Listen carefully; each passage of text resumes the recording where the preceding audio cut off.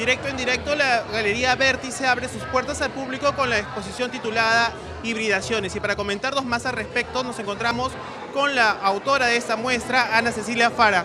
Ana Cecilia, buenas noches. Cuéntanos, por favor, al público qué es lo que puede encontrar aquí en la Galería Vértice.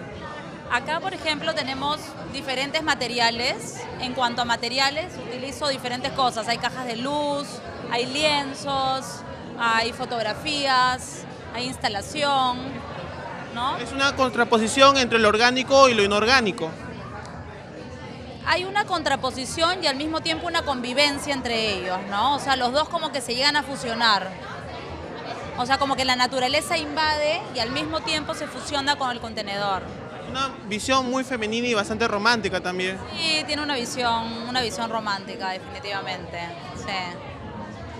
Bueno, la exposición Hibridaciones continuará hasta el 28 de octubre aquí en la Galería Vértice, ubicada en la avenida Ernesto Plasencia 350 San Isidro. Volveremos con más información directo en directo RPP Noticias.